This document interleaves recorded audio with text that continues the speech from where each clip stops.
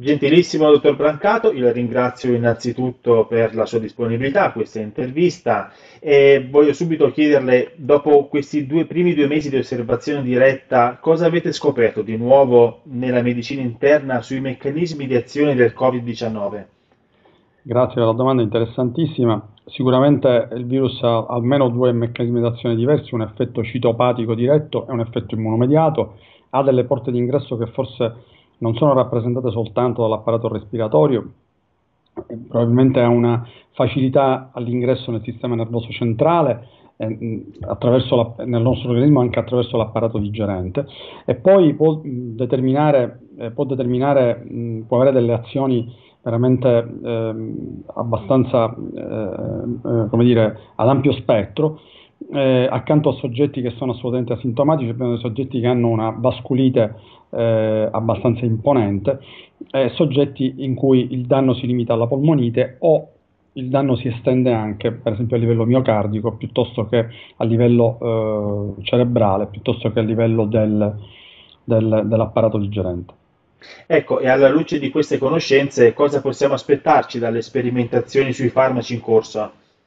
Io credo che ci possiamo aspettare dei farmaci che riescano, intendo dire dei farmaci che ehm, soprattutto che riescono a bloccare l'ingresso e la replicazione del virus nelle nostre cellule, e questo ce lo aspettiamo molto dagli antivirali, e poi dei farmaci che riescono a, eh, ci aspettiamo dalle nuove sperimentazioni dei farmaci che riescono a eh, bloccare la sindrome da, eh, la sindrome da mh, tempesta citochinica, che è quella che in molti casi determina la morte dei pazienti. E da questo punto di vista io sono abbastanza ottimista.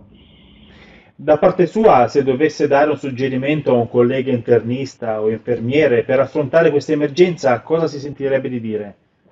Mm, la cosa più non mi, mi permetto di dire non suggerisco, raccomando a tutti gli operatori sanitari di pretendere da se stessi, dai loro collaboratori e dalle persone che eh, rappresentano eh, le persone che li devono gestire, la sicurezza. Sicurezza significa pretendere, nell'ambiente in cui si trattano persone con Covid, non solo i dispositivi di protezione individuale, ma procedure, percorsi, zone filtro, impianti di ventilazione separati, efficienti e puliti, addestramento e riaddestramento del personale. Se non c'è questo, il Covid ci distrugge. Se abbiamo questo, il Covid lo vinciamo. E a tal proposito, quali delle innovazioni operative e gestionali adottate in questa fase potrebbero a suo avviso diventare preziose come best practice anche dopo l'emergenza? Assolutamente, abbiamo imparato un sacco di cose. Intanto che dobbiamo eh, tagliare la burocrazia. Siamo riusciti a tagliare la burocrazia e diventare molto più efficienti. La seconda cosa è che dobbiamo ragionare, in questo senso l'internista credo che sia sempre avanti, ragionare eh, in maniera tale che da poter creare dei team multidisciplinari dove eh, eh, le dimensioni di collaborazione devono essere orizzontali e verticali, dove si devono imbricare e dove ci deve essere qualcuno che deve essere sempre in grado di coordinare il gruppo. Queste sono le due cose che secondo me abbiamo, abbiamo imparato e ci dobbiamo portare eh, nei prossimi mesi, nei prossimi anni anche al di fuori del Covid. Dottor Brancato è stato chiarissimo e io la ringrazio veramente per questa sua disponibilità, eh, le auguro una buona continuazione, buon lavoro e sicuramente ci sentiremo anche più avanti per futuri aggiornamenti. La ringrazio. Con molto piacere, grazie a voi e grazie alla Fadoi. Arrivederci.